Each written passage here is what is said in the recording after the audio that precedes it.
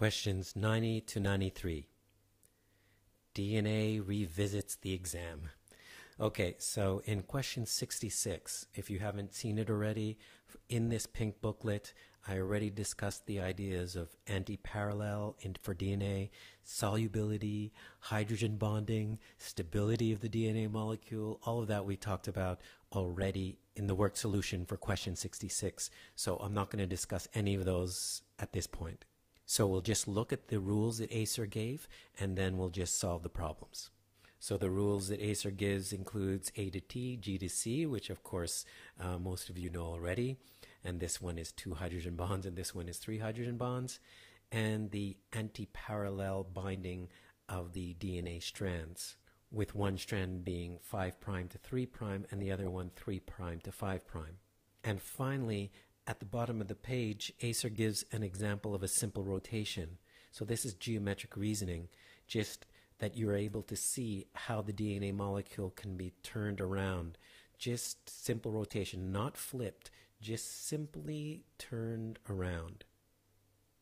And with these simple rules, all the questions can be answered. So let's begin with question 90. Consider the single stranded sequence. So here we have the single stranded sequence that ACER provides. So what would pair with it? Okay, so we have 5 prime to 3 prime. This is what we were given. These are the sequences of the bases. So it's going to bind to 3 prime to 5 prime, 3 prime to 5 prime, following the rules G to C, A to T, A to T, A to T, A to T, and G to C. So this must be the complementary strand of DNA. So now you just look for the answers. And I would start by looking at answer choice D because it's the most similar. It starts with 3 prime, then it has C, but then it goes wrong. It has AT, so it's it's not correct. And then answer choice C also starts with 3 prime, but then it's GA, so that's also incorrect. So then I have to reassess A and B. And then keeping in mind the simple rotation rule, I can just take my strand that I was able to determine and just turn it. And so this 5 prime will come over to the other side and we will still have the same sequence G, A, T, A, T, C, 3 prime. And so the answer is A.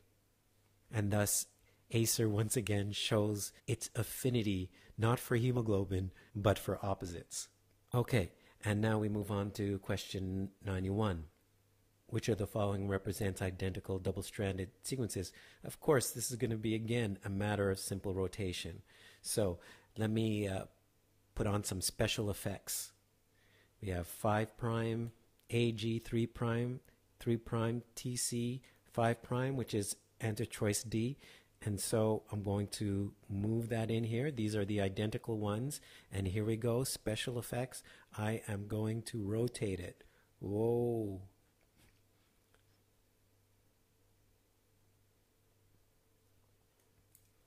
And now I have 3 prime T, 3 prime T, and then C, C, oops, C, and then 5 prime, C and then 5 prime.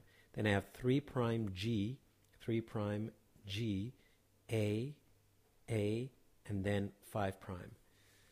Now I look at answer choice D and I see that it's correct.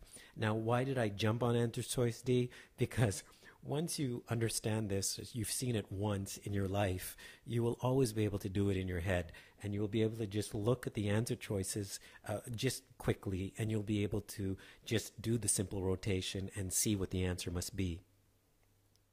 Question 92. We're still just using A to T, G to C, anti-parallel, and simple rotation. Okay, so the question asks how many double-stranded sequences containing only A and T are given in the table. So basically, I just isolated this part of the table. Obviously, during the exam, you would not rewrite the table. You would just look at it and then imagine a simple rotation. You can easily see that 5 prime 8 A to 3 prime and 3 prime T T to 5 prime is exactly the same as this one. This, again, it's a simple rotation. And so the 5 prime TT ends up on top. So we have 5 prime TT and the 3 prime AA ends up at the bottom 3 prime AA. So this is a repeated sequence. I'm just going to remove one of them because it's a repetition. So only this one is original. Now I just have to assess whether or not these are repeated. Now notice at the top we have 5 prime TA, 5 prime TA. So when I rotate that, I get 5 prime. It should be TA if it's a repeat, but it's not a repeat because this is 5 prime AT. So it's different from this one. So these are three unique double-stranded sequences containing only A and T in the table. And so for 92, the answer is C, 93.